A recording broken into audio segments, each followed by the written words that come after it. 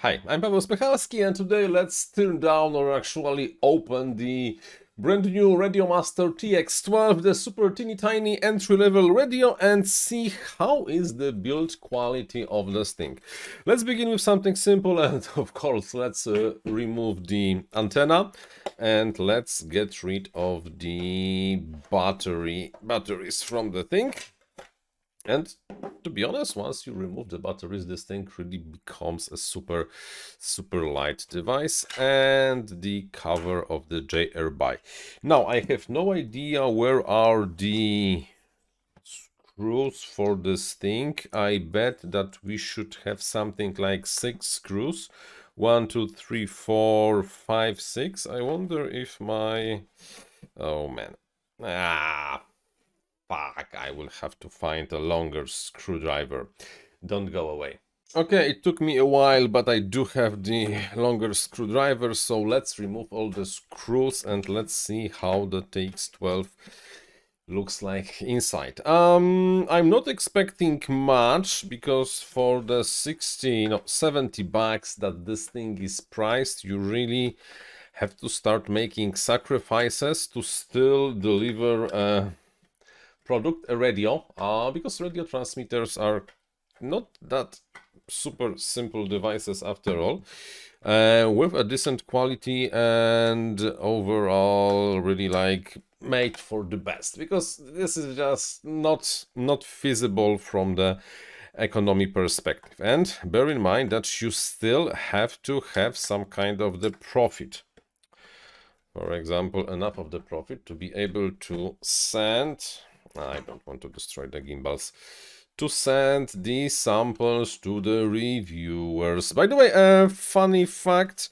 Radio Master made an interesting mistake when they sent the samples of this radio. And uh, this time there are no laser engravings everywhere, anywhere, but they attached a short... Oh, do I have to... Oh, okay. Okay. Really? I have to remove this. Okay, those elements have to be removed to open the clamshells. They attach the letter with the information. If you find any problems, then please add, let us know. However, for example, mine radio was addressed for the Andrew Newton. And I also know that Andrew Newton's radio was addressed, not addressed, the letter was uh, referring to Justin. I'm sorry, I don't know who Justin is, but I also I expect he's one of the YouTube re reviewers. Uh, Justin, if you are watching this thing, please let me know. And by the way, I wonder who got the letter addressed to me. Please let me know. I would really like to like to know. So, so what we have? Mm, what we have over here first of all the cable management do you remember the problems that the jumper head with those uh, flat ribbon cables. They are of course gone because the Radio Master is no longer playing with those. This is regular cable. Nice silicone, very, very soft cables plugged in all the correct places and the switches. The switches...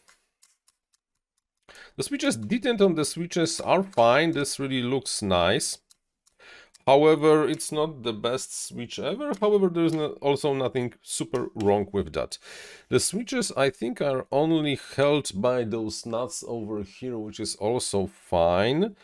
And here, the overall PCB quality is nice. Everything is lacquered. However, there is no any kind of the conformal coating on the CPU. It would be nice if someone could just smear some kind of the varnish on top of the electronics. Uh, lithium uh, battery for the RTC connectors. There is something that nobody knows what's for. Maybe this is for something like the extension. This, I wonder what this is. This element over here looks like. Um, thermistor? Hmm, hard to tell. This thing, of course, has the USB-C charging, so you can charge batteries uh, from the USB-C, which is really like super cool. Why? Why not all, everybody is doing that? USB-C and the charging from the USB is such a relief when you are going somewhere and you do not have to remember to take all the chargers with you because you can share the chargers of your phone with your radio and this is so super cool. Overall the PCB quality is nice and but I wonder how they got rid of the multi-protocol module. This multi-protocol module comparing to the big multi-protocol module has only one uh, radio chipset and this thing is called the radio chipset called the CC2500 which basically is the same chipset that for example FrSky uses and this radio is made compatible with the FrSky. I'm also think that FlySky uses CC2500 but you cannot select FlySky protocol on this radio. I really wonder why. Um, hmm, still if you have any receiver from the FrSky, probably not the access, but maybe, no, not the access, then this radio can talk with that. Uh, the radio part is shielded, which is always a good idea, and I do like when those things are shielded. This time, the oh, the module is not removable. It's soldered with this header uh, in place. You cannot take it out. However, what I like is that the pigtail from the SMA connector, this is SMA, yes, this is SM from the SMA connector to the apex over here is covered with Silastics, uh, some kind of glue that will keep it in place and prohibit the antenna wire to come loose when you just throw this thing somewhere. The gimbals. The gimbals are of course potentiometers and you can see the potentiometers over here. No, yeah, the teeny tiny potentiometers and are full plastic, uh, full plastic yeah, all the bits and pieces inside are full plastic. However, on this side, I can see that they have a bearing. I wonder if this is a ball bearing or just a sleeve bearing. Hard to tell, but there is a metal bearing nevertheless. And what's important, the the gimbal for left and the right look very look alike. Uh, I think this is the same gimbal. However, they got rid of the on the gimbal for the roll and pitch they got rid of the metal plate that gives the tension on the throttle. And of course the the one for the throttle is not self-centering. So if you want to convert this to other mode you have to swap the gimbals uh, but there is no ratchet. There is no ratchet option and uh, the ratcheting on the throttle is not there because this requires a second spring and a special gear pseudo gear over there acting on this uh, second spring. But overall for the for the price i think this is just good enough. The molding quality on the gimbals itself it does not rip us but it's not terrible as well so in total in total it's kind of nice. I do like that the roll and pitch have relatively high tension on the spring and this helps uh, a lot. I would prefer slightly more tension on the on the throttle and definitely more tension on the yaw but also this can be regulated. I think which one is for the okay this one this screw over here regulates the tension on the yaw this one on roll and where's this tension oh and this one you can use to regulate for the for the pitch so this is doable uh, of course we have stm uh, what kind of cpu is that we have the STM32F205. Yeah, so probably basically the same quality, the same the same CPU, not quality, as we had on the original Taranis. And in general, it looks really, really, really decent. There is nothing I can uh, really start bitching about. I would not mind if the uh, connectors for the for the for the switches were kind of isolated but still the soldering soldering is soldering looks decent as well maybe not perfect but it's kind of okayish and uh, yeah this is how the radiomaster tx12 is built internally.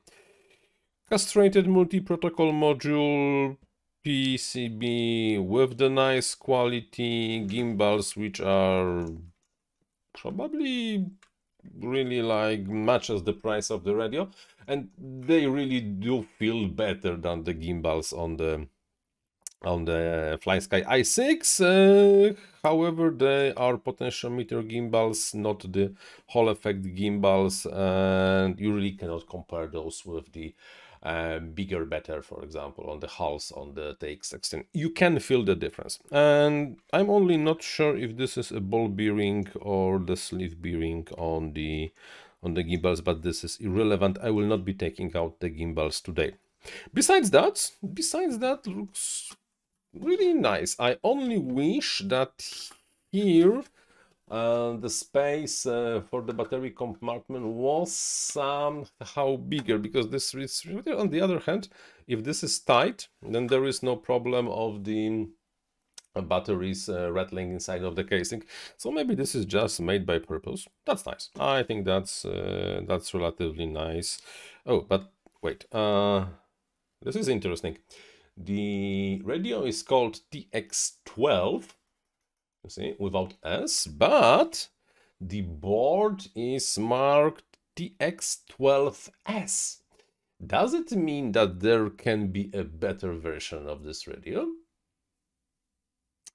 Because if the board suggests that there should be S at the at the end of the name of this thing, but there isn't.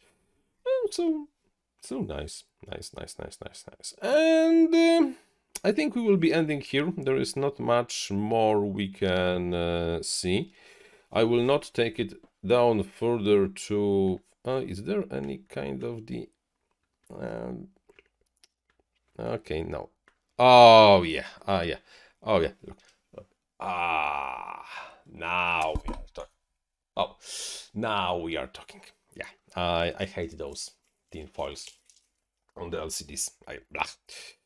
Uh, and the balance on the on the radio seems seems fine. Seems fine. So that's the end of the teardown of the TX12S, and the verdict is yes, the quality matches the price. There are a few compromises, uh, but overall the build quality inside is nice, and it should be cool and should be working without much of the problems. Thank you very much for watching. Until the next one. Bye bye.